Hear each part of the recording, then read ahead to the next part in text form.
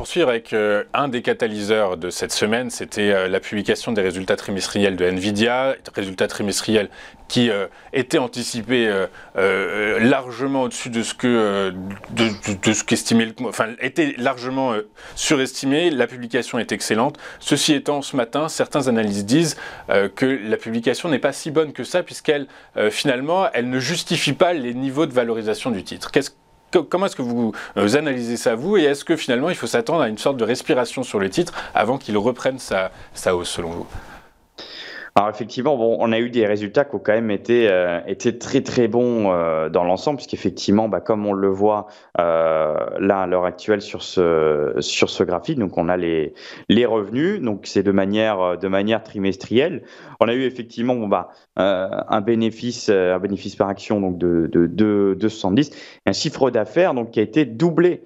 on est allé sur 13,5 milliards de dollars de chiffre d'affaires avec une guidance parce qu'effectivement, bon là, ce qui, ce qui a intéressé le marché, euh, c'est pas tant euh, le CA qu'on allait qu'on allait le faire au, précédent trimestre, c'est effectivement bah, la, la, la, guidance, donc effectivement bah, la prévision de chiffre d'affaires qui allait être euh, être initiée.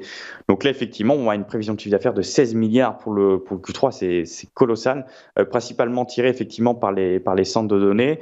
On a eu d'un autre côté effectivement bah, des, des, des, des, qui ont relevé euh, qui ont relevé leur leur objectif de cours. Alors ils s'en sont ils sont tous donnés à cœur joie. Même lorsqu'on regarde effectivement sur Twitter, on voit que bah, des gens prévoyaient même des, des, des targets à, à 1000 dollars, 1200 dollars, je voyais même 1500 dollars. Enfin, euh, là, on, monte dans la surenchère un petit peu comme on a eu, euh, comme on a eu sur Tesla, euh, effectivement, bah, il y a, y, a, y a quelques temps. Effectivement, pour moi, c'est assez, c'est assez dangereux parce qu'effectivement, on a une certaine euphorie qui est en train de s'installer sur le dossier et c'est, c'est véridique. Même si, quand bien même l'IA porte le dossier, mais effectivement, il y a, derrière, il y a une, une véritable euphorie euh, sur ce dossier qui n'est pas, euh, qui n'est pas justifiée et qui effectivement bah, euh, induit une surprime qui, pour moi, est à mon sens injustifiée et risque de, de retracer malheureusement et de, de, donner un sacré coup sur le, sur le dossier. Rappelons également le cas Cisco durant la bulle Internet entre 97 et 2000. Les revenus avaient triplé de 6,4 à 19 milliards de dollars. effectivement, ce qui s'est passé, c'est qu'ensuite, les revenus euh, de l'entreprise ont stagné, n'ont pas diminué, ils ont simplement stagné. Effectivement, bah, le titre a abandonné 70% et ne s'est jamais relevé euh, de cette de cette hausse. Alors peut-être qu'on pourrait avoir un scénario similaire sur Nvidia, mais en tout cas c'est ce que je verrais je verrais très bien. Vous le savez, les titres des semi-conducteurs sont très cycliques effectivement, quand tout va bien, bon, bah, on a des hausses qui sont stratosphériques.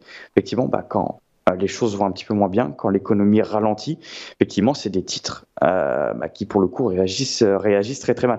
Donc attention euh, à Nvidia. Donc effectivement, on a eu euh, pas mal d'options. Alors le jour des résultats, on a eu des mouvements d'options qui euh, anticipaient un mouvement de, de, plus 6, voire plus 10%. effectivement, bah, le, jour, euh, le jour de l'ouverture, hier, bah, effectivement, le mouvement a intégralement retracé, comme vous pouvez le voir sur ce graphique technique. Effectivement, bah, ça induit que bah, le mouvement a été totalement euh, pricé par le marché. effectivement, bah, ça c'est un signal assez baissier sur le dossier. C'est d'ailleurs un mouvement euh, que j'ai euh, que j'ai shorté. J'ai toujours une position euh, vendeuse sur le dossier. Alors à très moindre échelle, j'ai maintenant qu'une petite position, mais que je vais euh, commencer à construire pour un scénario un petit peu plus swing. Et moi, on va dire que j'anticipe un retour sur les 200 150 dollars.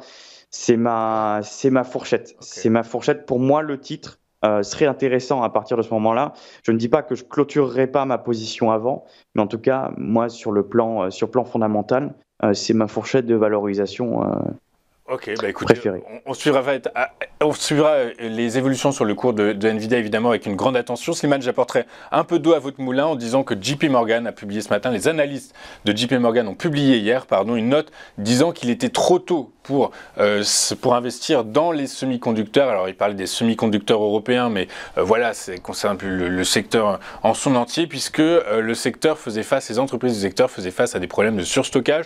Donc, pas à force des choses, il n'y a pas de raison que Nvidia n'en soient pas, n'en fassent pas partie également. Du coup, bah, effectivement, je dirais que les observateurs et les analystes les plus raisonnables, ceux qui ne sont pas tirés par des logiques marketing et qui nous annoncent des 1000 dollars sur Nvidia, eh bien, sont plus prudents. Alors, votre prudence, vous est-elle exacerbée à 250 dollars?